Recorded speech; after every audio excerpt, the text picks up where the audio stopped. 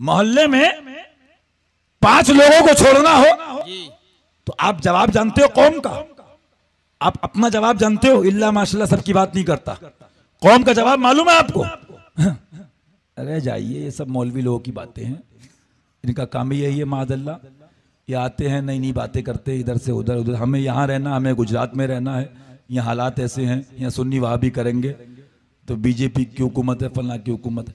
یاد رکھو! قسم رب کعبہ کی میں کہنا چاہتا ہوں، اس گجرات کی دھرتی پہ رہتے ہوئے اگر تم کہو گے، مودی کی بات، ایڈوانی کی بات، تو میں کہوں گا اٹھا کے دیکھو شریعت کیا ہے، دین کیا ہے، اسلام کیا ہے، قرآن کیا ہے۔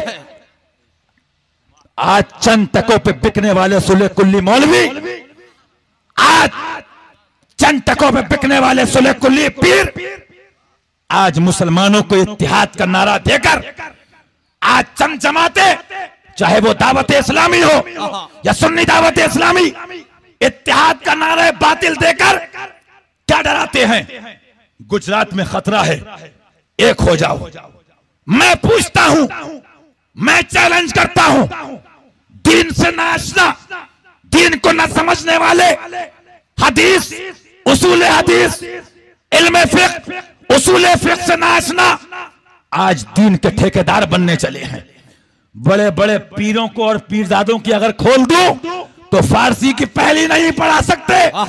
بڑے بڑے مبلغین کی اگر سامنے بات کر دوں تو وہ بہار شریعت نہیں سمجھ سکتے۔ جی۔ آج مبلغ زمانے کے بنے بیٹھے ہیں۔ ان کے باپ میں دم ہے تو کہو حشمت علی کا پوتا تمہارے باپ الیاس سے اکیلا مناظرہ کرے گا۔ بلاو دلی کے میدان میں کراچی سے اپنے باپ کو میں ثابت کرتا ہوں جو مسئلہ کے اعلیٰ حضرت کے خلاف ہے نہ وہ ہمارا ہے نہ وہ ان کا ہے نہ وہ زمانے کا نعرہ تکبیر نعرہ رسالت مسئلہ کے اعلیٰ